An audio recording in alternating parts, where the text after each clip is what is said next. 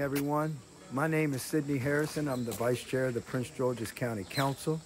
We are on this trade mission trip to South Korea to talk about economic expansion, uh, covering every industry cluster in Prince George's County. We are on the world stage.